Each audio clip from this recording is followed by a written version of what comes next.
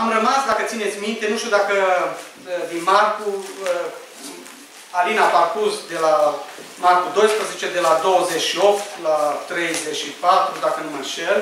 Nu știu dacă a mai rămas ceva, poftim? Pot să Dacă cumva a mai rămas ceva, eu mai citesc pasajul, dar în, uh, dacă cumva la care va o rămas o întrebare, și pe 33 și 34 nu prea s-au discutat uh, de versete, dar eu recitesc din nou și dacă a rămas ceva, aveți posibilitatea să întrebați. Unul din cărturari, citesc din uh, Marcu 12 la 28, unul din cărturari care venise și auzise vorbim, văzând că Isus le răspunsese bine, l-a întrebat, care este cea din tâi dintre toate poruncile? Și Isus i-a răspuns, cea din tâi este aceasta, ascultă Israele, Domnul Dumnezeul nostru, Domnul este unul singur. Citeți din revizuire. Și să iubești pe Domnul Dumnezeul tău cu toată inima ta, cu tot sufletul tău, cu toată gândirea ta și cu tot, toată puterea ta. Iată porunca din tâi. Iar a doua este aceasta, să iubești pe aproapele tău ca pe tine însuți. Nu este altă poruncă mai mare decât acestea.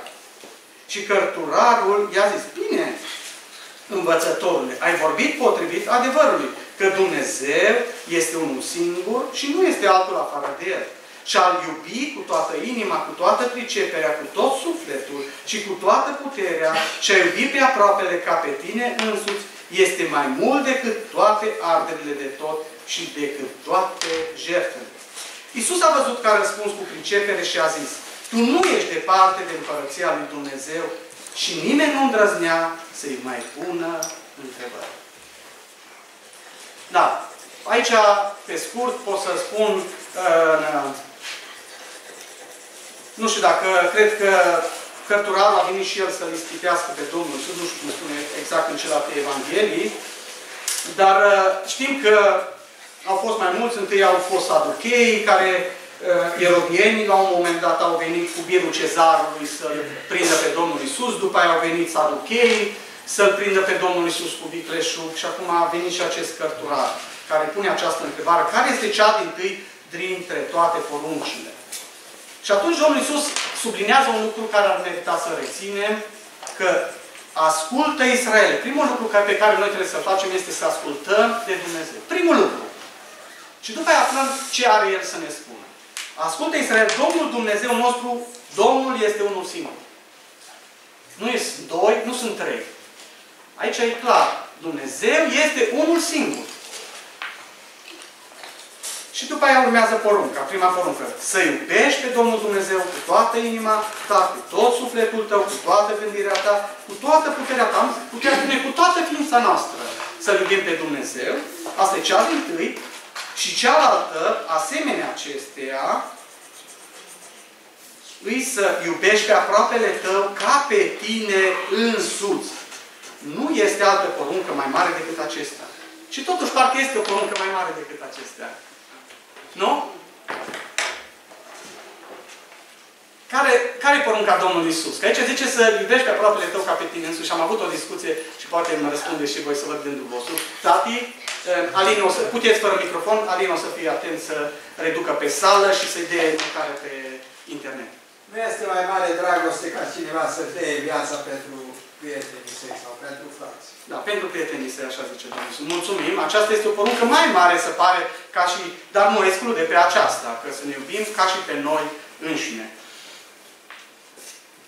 Această poruncă de a, de a ne iubi așa cum ne-a iubit Domnul Isus, asta e o poruncă de a iubi mai mult decât pe noi înșine. Este cerută să o manifestăm doar față de frați, că asta am avut o discuție cu părinții mei acasă, sau numai față de sau față de toată lumea trebuie manifestată această poruncă. Față de frați. Față de lume ni se cere să iubim mai mult decât pe noi? Fratele eu v-a spus că față de frați. Voi ce gândiți? Vă întreb. Față de frați. Față de frați. În primul rând, frați. Așa e adevărat. Pe urmă... Așa este. Așa stă scris în Scriptură să faceți bine tuturor, dar mai ales celor din casa credinței. Deci se pare că față de frați. Altcineva nu are un alt gând. Eu mă gândeam că poate și față de lume și din ce cauză? Pentru că în 1 Petru, în, odată că Dumnezeu, în, când zice atât de mult a iubit lumea, încât și-a dat viața pe, și-a dat pe singurul lui Fiu, ca oricine crede în ea să nu piară și să aibă viață veșnică, acolo e iubirea agape, agape de iubirea de jertfire. Și dacă vom citi în Petru, în 1 Petru,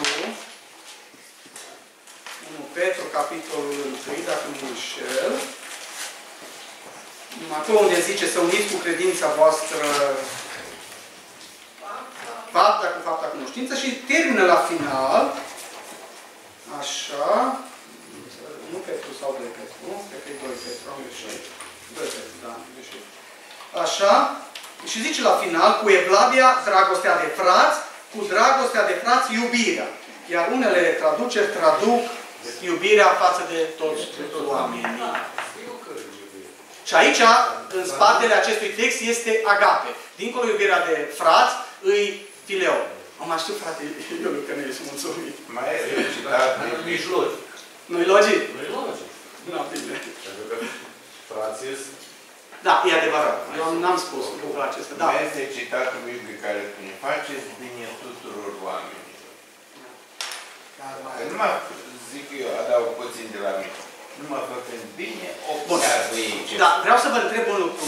Ce înseamnă iubirea agape? Că noi vorbim mult de iubirea agape. Este legată de iubirea de jertfă, de che- o iubire care presupune cheltuire. Eu vă întreb un lucru, dragi frați și surori.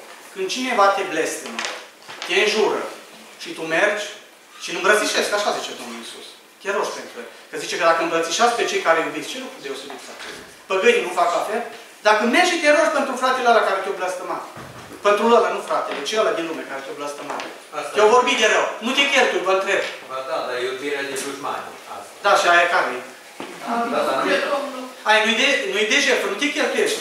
E ușor? Eu vă întreb, e ușor să faci lucrul ăsta. Dragostea fileu e ușor să o practici, mai ales când te înțelegi bine cu frații. Dar eu vă întreb. Iartă, Doamne, că nu știu ce fac. Dar a fost ușor? Nu a fost cheltuire. Gândiți-vă, a fost ușor să spună lucrul ăsta. E ușor de pe limbă să spui lucrul ăsta, dar să simți din inimă lucrul ăsta. Simți că te topești. Mai ales când cineva ți-o tras o palmă. Și îți mai întorci și celălalt. Și spui, și aia cum e? Da, soră, le mulțumesc. Domnul Iisus spune, dacă iubiți numai pe frații voștri, ce mare grozăvie faceți? Deci trebuie să iubim pe toți. Deci, Și- în momentul când treci la iubirea de vrășmaș și vorba de cheltuire. Da. Te cheltui, mori mai încet. sus, decât, uh, pentru că, deci tu, deci din, din, din uh, dezvoltarea ta e mult mai, deci mult mai Deci, fără puterea lui Dumnezeu nu poți face să Păi, fii tot- tocmai mi-a vorbit fratele meu de umilință. Apoi trebuie să fim umiliți. Da. Frate Iuliu, Și când iubești pe frați, te cheltui. Nu Da, numai adevărat. Când iubești. E, Da, e adevărat. E adevărat lucrul acesta. Eu n-am spus lucrul acesta. Nu am spus. Dar vreau să spun că cheltuirea o faci și față de cei din lume. Dacă suntem sinceri cu noi.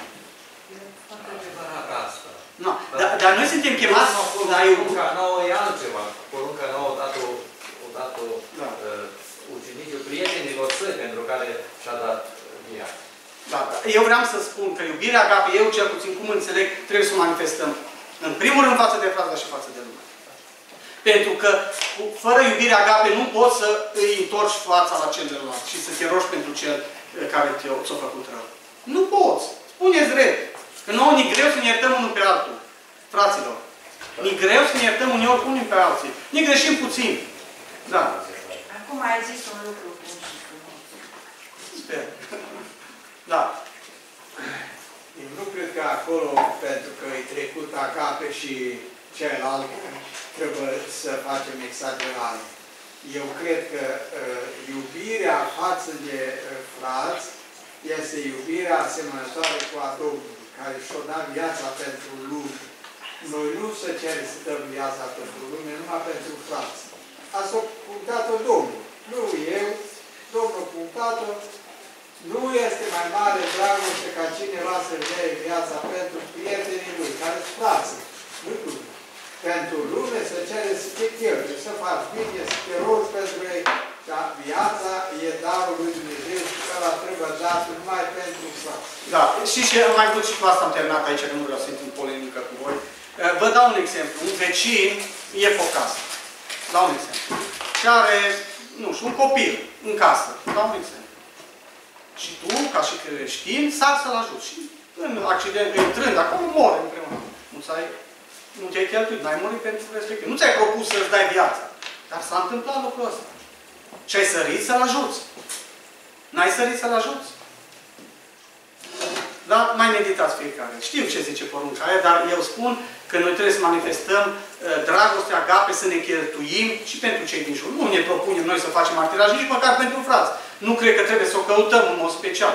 Dar dacă se impune la un moment dat că vine cineva și ia 3-5 frați și mere și spune, spune un, unde sau nu, ia pe un frate și spune cum era pe vremuri, unde sunt ceilalți frați ai tăi? Și deci nu spun.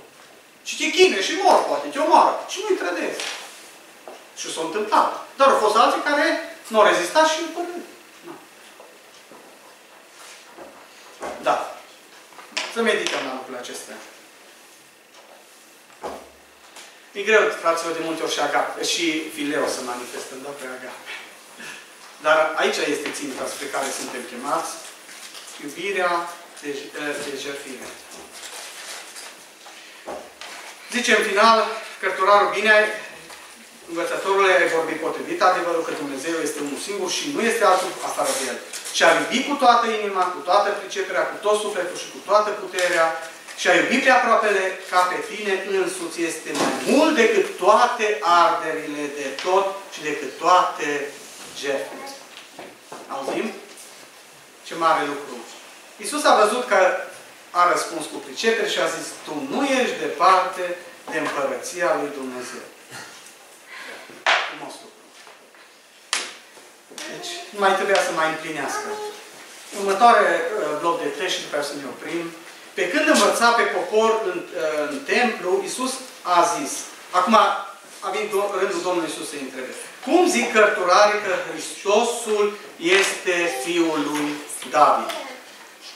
Însuși David spunea prin Duhul Sfânt, Domnul a zis Domnului meu, stai la dreapta mea până voi pune pe vrășmașii tăi așternut sub picioarele tale. Deci chiar David îl numește Domn. Atunci, cum este el fiul lui? Și mulțimea cea mare îl asculta cu bucurie. Mai aia a ascultat cu bucurie. Parcă se bucurau că au închis gura celorlalți. Ce aș vrea să vă întreb? Ce a vrut să scoată Domnul Iisus prin această întrebare? Da, frate. Am avut o întrebare din pasajul anterior. Da, nu Am așteptat să terminați și asigurat pe Da, nu-i Dacă problemă. e timpul, dacă nu... Da, te rog, este timp, dacă nu rămâne și pe data viitoare, nu e problemă. Am o întrebare pentru toți frații. Aud tot mai des în zilele noastre circulând ideea iubește-te pe tine ca să poți face bine celorlalți, să iubești pe ceilalți. Cum înțelegem aici chestiunea asta? Și mulți filozofi din istorie zis chestia asta. Nu chiar așa, dar o zic probabil iubește-te pe tine ca să... că altfel n-ai cum să iubești pe alți oameni. Da, da, da. Sau- Da, din da diverse pentru că dacă citim porunca, îi să iubești cum te iubești pe tine însuți. Și dacă tu nu te iubești, nu-i poți iubi nici pe alții. Vreau să Asta aud e. plus părerea fraților aici. Ce, ce se înțelege de fapt de aici? Cum, cum adică să te iubești pe tine ca să poți iubi pe ceilalți? Da, aveți un gând aici, la fratele Daniel, frate Iuliu. Nu e vorba de nar- narcisism, ci iubește viața. Iubește viața, că dacă îți iubești viața ta, poți să iubești și viața altora. Să- Găsim undeva vreun text care să ne îndemne să ne iubim pe noi înșine? Este ceva, este ceva, totuși, dar e vorba de un echilibru, da. Apostolul Pavel zice, cine și-a urât vreodată trupul său, nu-l hrănește și nu-l îmbracă cu drag, arătând exact ce spunea fratele Iul, că dacă nu grijește trupul acesta, te îmbolnăvești și mor. Ori respectul față de viață se vede tocmai prin faptul că te îngrijești. Mănânci la timp, bei la timp, te odihnești uh, cât e necesar. Și când acest lucru înseamnă că dovedești că ai o minte sănătoasă. Mintea sănătoasă îți va spune, așa cum te iubești pe tine, iubește și pe aproapele tău. Gândește-te la binele lui, la sănătatea lui, la uh, viața lui și încearcă să uh, uh, îl iubești și pe el.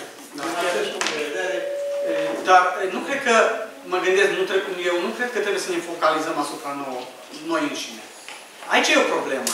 Apostolul Pavel zice, mă port aspru în același timp cu trupul meu, ca nu după ce am propovăduit altora, eu sunt, să-mi fiu lepădat. Apostolul Pavel face un echilibru, nu îmi bat joc de trupul meu, îi dau să mănânce și tot ce e necesar, doar ce e necesar, toate poftele, dar ținta mea nu îi trupul meu sau eu să mă iubesc pe mine, că atunci e narcisism. Și nu mai mă amăgesc, că eu mă preocup tot de mine să mă iubesc, că cândva voi avea ocazia să iubesc și pe aproapele. Nu cred că ținta corump, ci să iubesc pe Dumnezeu, să iubesc pe aproapele. Asta e. Da, da, Deci, exact cum ai zis, frate Rude, așa înțeleg și eu, e un echilibru aici. Să nu cumva să cădem pe panta narcisismului și să ne iubim pe noi așa de frumos și de bine, încât să uităm ce înseamnă să iubești aproapele tău. Da. Pentru că să nu uităm, fraților, suntem egoiști din naștere. Exact. Așa ne-am născut. Adică am Așa. egoismul în mine, în Adică- vene, în circulă egoismul. Îmi vreau bine în fiecare zi, în fiecare pas. Nu vreau să mi-l fac cumva greșit pe- pentru mine. Și atunci dacă eu mănânc o coajă de pâine, să-i dau și la aproape meu o coajă de pâine. Aia înseamnă. Apostolul Pavel ce vine și ne spune? El, el e foarte aspru, dar asprimea asta nu a practicat-o neapărat cu cei din jurul lui. În primul rând la Adamul lui a spus chestia asta. Da. Așa Foarte e. important aici. Pentru că mulți ziua de astăzi, știți ce fac? Se iubesc pe ei, într-adevăr, în stilul ăla poate tind înspre narcisism, dar nu tare oferă la alții ce fac pentru ei. Pentru că asta e filozofie de astăzi. Eu E o sunt filozofie Dumnezeu. de astăzi, fraților. Îs Dumnezeu. Astăzi îs Dumnezeu în lumea aceasta. Asta nu e. E o filozofie care au trecut să se strecoară să fie lumească deja. Chiar dacă la prima vedere pare a fi un pachet Un frumos. sofism e. Un Da, sofism. e un sofism. Da. Tati? Am vrut să spun că totuși găsim și oameni care n-au uh, echilibru în viața lor și nu grijesc de sănătatea lor. Își bat joc de trupul lor. E adevărat că Și da. în cazul acesta nu, uh, nu au simpatie nici față de alții. Aia nu e corect. Și aceasta e o Dar e altă o extremă. E o altă extremă. O altă lată. Da, așa este. Dar eu cred că ținta poruncii să iubim pe Dumnezeu, deci în afara persoanei noastre, și să iubim pe Domnul Isus. Noi n-am fost creați pentru noi, cum am spus de multe ori, un, un măr. Nu face mere pentru el. Face mere pentru alții. Noi suntem chemați să facem, să dăruim pentru alții. Nu să, uh, să ne concentrăm atenția asupra noastră. Bineînțeles, cu păstrarea echilibrului. Nu vorba să ne focalizăm pe noi. Nu asta vreau să spun acolo, dar dacă, dacă nu uh, ne prețuim pe noi, nu știi să prețuiești pe altcineva. E adevărat. Că și el e important. Ca și E foarte adevărat. Și în sensul acesta, Apostolul Pavel are îndemnul să aveți fiecare o părere cumpătată despre sine. Să n-aibă o părere mai înaltă. Deci, eu cred că fiecare trebuie să vedem ce dar a pus Dumnezeu în noi și cu acel dar să slujim. Să nu zicem că, chiar dacă este aspectul eu nu sunt un nimeni, când zice Apostolul Pavel, când se compară cu Dumnezeu, noi suntem nimic. În relația noastră cu Dumnezeu, noi nu suntem nimic fără, cum zice Apostolul Pavel. Eu am însădit, Apolo au dat, dar Dumnezeu a făcut să crească. Cine e Apolo, cine e Pavel, nu suntem nimic. Nu? Așa zice. În relația noastră cu Dumnezeu, noi suntem o nimica. Suntem o praf pe cumpără, nimic. Însuși Domnul a spus, dacă eu nu lucrez prin voi, voi nu Dar faceți faptul că nimic. Dumnezeu a pus valoare în noi, între noi, trebuie să vedem lucrul ăla care ne-a pus Dumnezeu Asta trebuie să și să nu disprețuim, să zicem, în mine nu este nimic bun, în sensul că eu nu pot sluji pe Domnul, nu pot să manifest față de frații nimic, că eu n-am nimic bun. Nu. Dar nici să cred că sunt buricul pământului și în jurul meu să învârte toată lumea. Aici e problema. Și ce zicea Daniel e foarte adevărat. Noi avem problemă mai degrabă pe panta egoismului, nu pe uh, panta uh, uh, lipsei de respect de sine.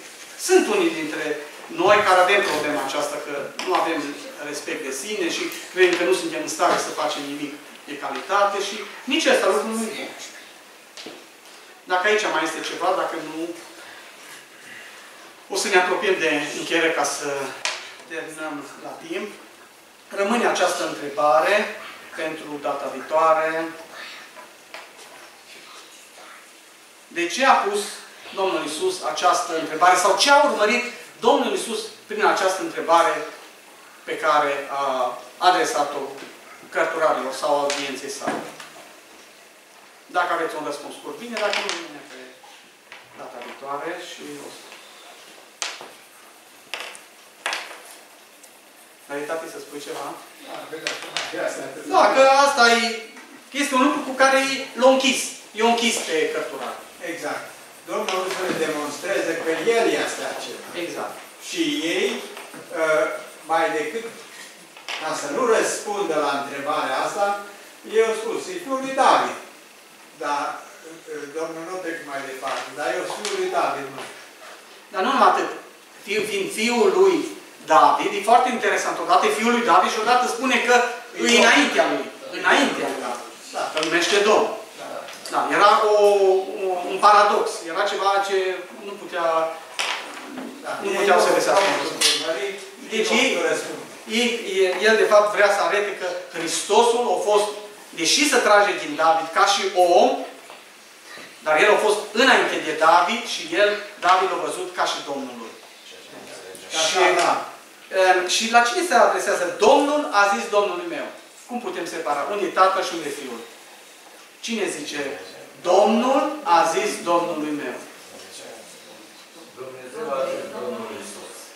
Da, și în Corinteni pare invers. Dreptâi. Că așa zice, Domnul a zis Domnului meu, eu cred că Domnul e Dumnezeu aici, a zis Domnului meu, stai la dreapta mea, până voi pune uh, pe vrăjmașii tăi așternut picioarelor tale și dacă vom citi în 1 Corinteni 15, pare chiar invers, dar nu e o problemă aceasta, pentru că Domnul Iisus și cu Tatăl sunt una în lucrare și lucrarea Tatălui încredințată Fiului. Atât și după asta am încheiat. 1 Corinteni. Ați vrut să ziceți, spuneți tare. Până găsești. Și el va domni până va pune pe toți. Exact. Uh, zice despre Domnul Isus, căci trebuie ca El să împărățească până va pune pe toți vrăjmașii sub picioarele sale. Vrăjmașul cel din urmă care va fi nimicit va fi moartea. Căci El a supus, deci Domnul Isus nu Tatăl face totuși, Domnul Isus, căci El a supus totul sub picioarele Lui, dacă zice că totul i-a fost supus, se înțelege că afară de Cel care i-a supus totul, adică de Dumnezeu. Deși în psalm, și aici apare că Dumnezeu zice Domnul Iisus, stai la dreapta mea până eu voi face lucrarea asta, totuși această lucrare o face prin Fiul de a supune pe toți vrăjmașii. Mulțumim Domnului pentru această zi și dacă am greșit eh, cumva Domnului... Vrei să spui ceva? Să mai meditați la Salmul 2 și acolo e ceva. Da, mai se poate relua data viitoare dacă va fi voia Domnului. Îi mulțumim lui Dumnezeu, cum am spus, pentru tot ajutorul pe care ne l-a dat și dacă cumva am greșit față de el îi cer de iertare și la fel și față de voi. Vă rog să vă iertați și Domnul să fie cu noi, să vă binecuvânteze pe fiecare și ce să zic, dacă puteți și nu vă oprește nimic, manifestați dragostea unii față de alții. Manifestați-o simtă și ceilalți.